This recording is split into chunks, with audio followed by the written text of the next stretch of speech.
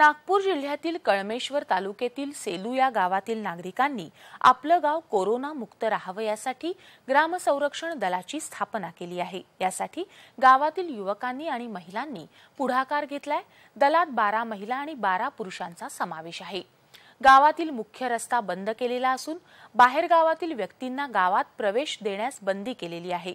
अत्यंत महत्वाचं काम असेल तरच गावात प्रवेश देण्यात येतोय. गावात प्रवेश देताना गावाच्या प्रवेशद्वाराजवळ थांबवून बाहेर गावावरून आलेल्या व्यक्तीची माहिती आणि त्यांचा मोबाईल नंबर घेण्यात येत असून रजिस्टरवर त्यांची नोंदणी करण्यात येत आहे.